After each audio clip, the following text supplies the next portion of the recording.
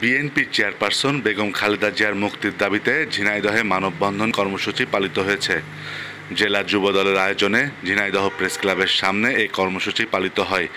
এতে banner festoon নিয়ে জেলা বিএনপির নেতৃবৃন্দ সহ যুবদল ও অঙ্গ সংগঠনের নেতাকর্মীরা অংশ নেয়। এ সময় জেলা বিএনপির আহ্বায়ক advocate S M Moshiur Rahman, সদস্য সচিব অ্যাডভোকেট এম এ মজিদ জেলা যুব দলের সভাপতি আহসান হাবিব রনক সহ অন্যান্যরা বক্তব্য রাখেন।